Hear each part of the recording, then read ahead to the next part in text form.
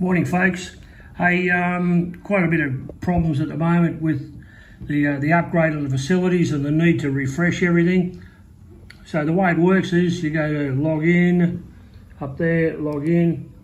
You'll notice this big banner there saying Control F5 browser refresh if needed. That's what we do. So we go onto our computer and we go Control F, where's F5 there?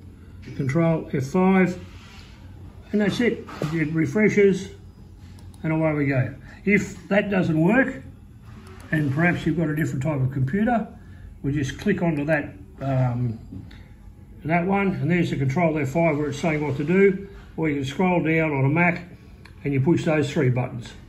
If after you've done both of those, then it's still not working, shoot us a note, send a text message to me on 0414 787735 or just send the email through. Either way, we'll get it and one of the boys from TeamViewer will go on and do it for you.